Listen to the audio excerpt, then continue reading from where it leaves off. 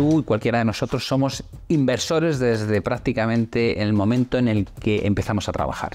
Cuando digo que eres inversor es que tú vas a ganar dinero cuando empieces a trabajar y tienes que pensar en cómo planificas tu futura jubilación, aunque sea dentro de 50 o 60 años.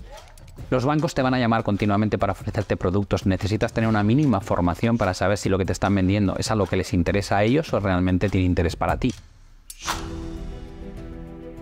Lo más difícil es no perderte en Internet. Hay tal cantidad de información. Tienes que saber cuál es de primera mano buena y cuál no. Y luego cómo lo sintetizas, porque cuando tú creas contenido necesitas dos cosas. Uno, saber cómo va a impactar en los precios, porque al final estamos gestionando, estamos invirtiendo.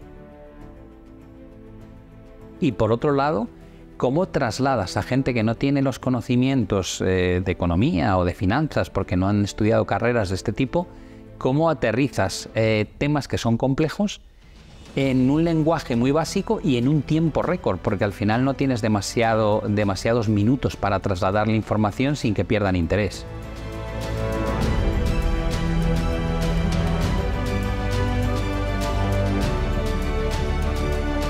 No es tan sencillo. La gente que piensa, voy a poder vivir del trading, yo siempre digo, el 85% de la gente no. Del trading, de la operativa de corto plazo, no. Ahora, ¿puedo rentabilizar mis ahorros a largo plazo siguiendo una metodología razonable? Por supuesto, claro que sí.